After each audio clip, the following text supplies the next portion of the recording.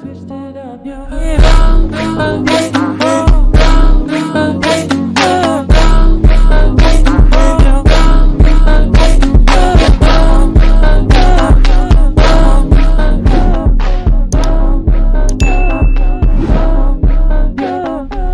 that we're in our composition, I have my clips and my audio played out. Now that we have our clips situated, we comp the second clip, and now what we want to add a solid layer. Now go a couple keyframes ahead with the solid layer, drag it out. You do want to now pre-comp this solid layer. After that, add a marker. And now we're going to go inside of that solid layer pre-comp and we're going to add fractal noise. It is a default plugin inside of After Effects, so don't worry about that.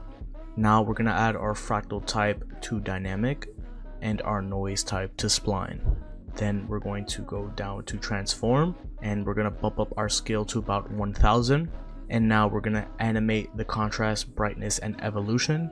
So we're going to click the clock and add our keyframes. After that, we're going to make sure the first keyframe is a straight solid white layer by bumping down the brightness. And now going to the end of the keyframe and making sure the screen goes about 75 to 85% black. So here I'm just messing with the keyframes, but as you see it animates fading down from a solid white to about a half dark background. And that's because the black areas would be the second clip and the white areas would be the first clip.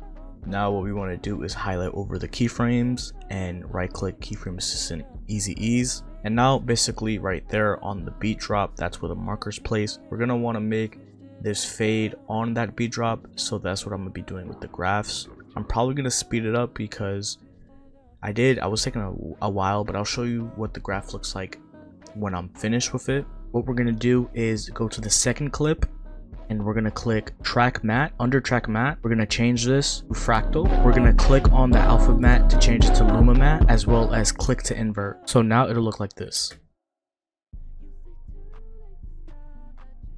That's pretty much the transition but we're gonna do some more tweaking. So here i'm just looking over it and it looks pretty cool very clean flows nicely. Here you can see the graph. I did three separate graphs and i'm still adjusting it here but you can see that it does look very clean and it just suits the vibe. Now I'm going to go into the last bit of this tutorial and that is the speed ramping. So for the second clip, I'm going to time remap this. I do have a video on how to time remap if you guys want to learn more in depth on how to graphs and how to properly time remap and have flow in your music videos so you guys can go check that out link down below but now what we're gonna do is we're gonna open up this second clip pre-comp we're gonna right click time remap we're gonna add our first keyframe and then now we're gonna pick our frame that we want to end on and add that keyframe there. Now we're going to easy ease the keyframes, go into our graph editor, and make this clean, simple curve graph.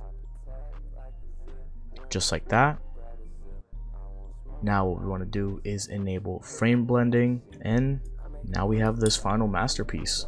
I'm not going to show you the VFX that I added like I did in the preview. That's up to you guys. But this video is just to show you how to make this quick and easy transition. So if you guys did like this video, please leave a like on this video. Subscribe if you're new. Leave a comment on what you want to see me make a tutorial on next. And I'll catch you in the next video. Peace out.